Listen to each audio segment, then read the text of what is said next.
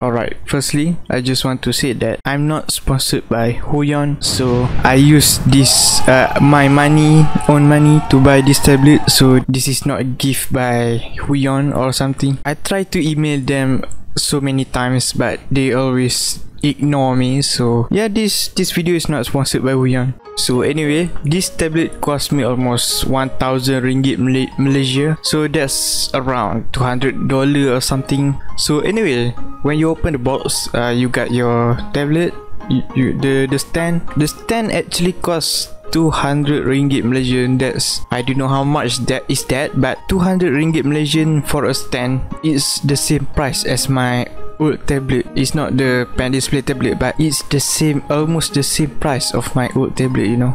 At first I was thinking why the the stand is so I mean it's so expensive. But when as soon as I touch the stand it's so you know it, it feels heavy and it's it's really a really good quality of stand. So then you have your pen and the glove. Right right now I have like three Huion glove right now. So this is uh, my third gl glove. The pen itself is good, you know. It's 8000. Ha it have the 8000 pressure sensitivity, and they come with the holder with a pen nibs, you know, to to for to just replace if you use a tablet your tablet too much. You also have the the what is that fire fiber something I don't know. Is is the thing that we can use to clean our tablet. Yeah, so it's a complete package you know. And then the wire is about two wire. One is extension power. I don't need that because i use my laptop. My laptop have the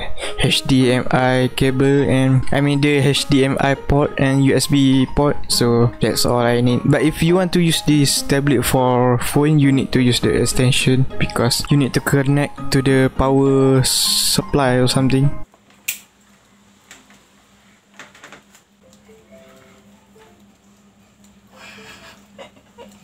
So this is my first time using Huion Canvas 13. Bef before I use this tablet, I use Huion Inspiroy H430p and Huion H420 which is my first tablet. It's so small but yeah, it is what it is, you know. So this is my first time using the pen display tablet when i use this pen uh you know when i use this tablet uh it feels awkward at first because i never really you know never really use this kind of tablet so and then I just you know just do some sketch on and all try to make myself uh comfortable with this tablet. I mean it's not it's not hard to use. I mean I, I really need time to be comfortable. When I try using this tablet it feels really natural.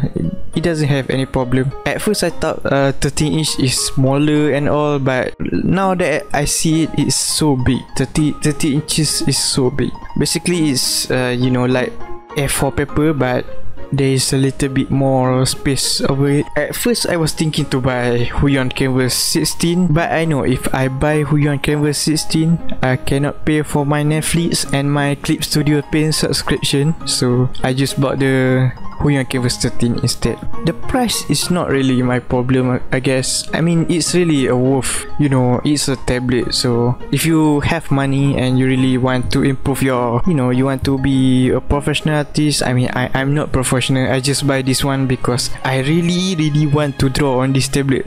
Again I'm not sponsored by Huion. They ignore all my emails so I, I really said this using my opinion this is a really good tablet if you you know have a little bit money just just buy it. I totally recommend it. Okay thank you for watching and make sure to read my comic at the webtoon.